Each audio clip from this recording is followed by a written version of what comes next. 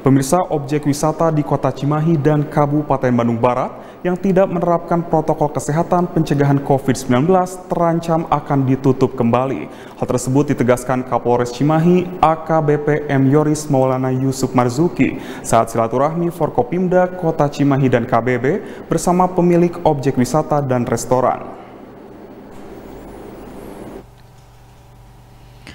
Para pengusaha, pemilik objek wisata, dan restoran diminta taat menerapkan protokol kesehatan pada era adaptasi kebiasaan baru atau AKB di tengah pandemi COVID-19.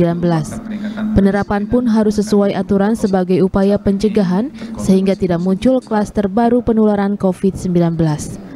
Kapolres pun menegaskan jika pengusaha jangan sebatas formalitas soal protokol kesehatan seolah sudah mengikuti protokol, tapi harus ikut menekan angka penularan COVID. Dengan siang hari ini, atas inisiatif Polres Cimahi, kita bersama-sama dengan Kodim dan juga pemerintahan Kota Madia Cimahi dan juga uh, Pemkab Bandung Barat. Ini kami mengumpulkan para pengusaha, baik tempat wisata, hotel, restoran, dan juga eh, tempat-tempat uh, yang lain ya. Uh, pada siang hari ini intinya adalah kita menekankan kepada mereka tentang protokol kesehatan. Bagaimana tempat wisata dan perekonomian tetap berjalan dan dapat meningkatkan pemasukan bagi negara kita, namun di sisi lain juga dapat menurunkan angka uh, penyakit COVID ini ya. Jangan nanti malah tempat tersebut dengan dibukanya malah menjadi klaster baru. Dan tadi juga sama-sama memutuskan kita membuat kesepakatan kepada seluruh pengusaha untuk di tempatnya benar-benar menggunakan protokol kesehatan yaitu memakai masker, menjaga jarak dan juga menyiapkan tempat pencuci tangan.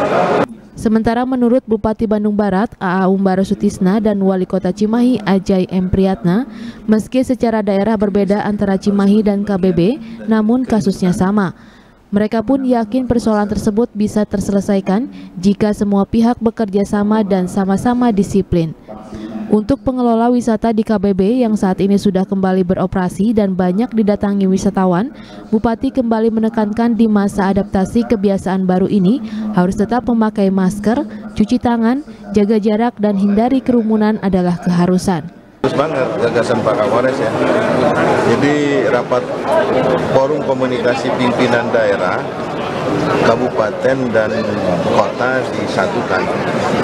Dan ini mudah-mudahan bisa berkelanjutan tentunya dan uh, acaranya satu yaitu untuk penanganan COVID. Jadi bareng-bareng bahwa penanganan COVID ini kebersamaan di antara kita ya. Karena satu amparan antara Cimahi dengan Kabupaten Bandung Barat daerah berbeda tapi tanahnya hampir sama dan dengan Pak Kapolres sekarang menyatukan apa bupati dan wali kota, Pak Kapolres, Pak Dandim, Gajari dan yang lainnya ini bagus sekali. Dan itu mesti digagas, misalkan bisa dua bulan sekali seperti ini. Ini akan cepat terselesaikan sebetulnya masalah pandemi COVID Bandung Barat Cimahi itu kalau memang ini kebersamaannya terjalin dengan bagus ya. Inisiasi Pak Kapolres, terima kasih karena ini sangat baik ya untuk mengingatkan kita bahwa pandemi ini masih ada, masih menghargai. Di sisi lain memang perekonomian harus jalan.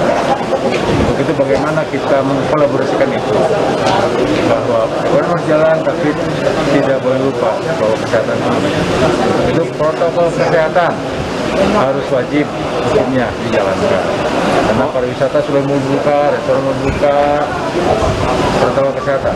Ya. Dalam kegiatan tersebut turut hadir para pengusaha pariwisata, pengelola objek wisata, restoran maupun tempat umum lainnya. Dalam melakukan pengamanan di masa pandemi, Polres Cimahi menurunkan setengah kekuatan personel Polres Cimahi bekerja sama dengan Kodim 0609 Cimahi dalam pengamanan AKB dan protokol kesehatan di tempat wisata dan pusat keramaian masyarakat. Algi Muhammad Gifari, Bandung TV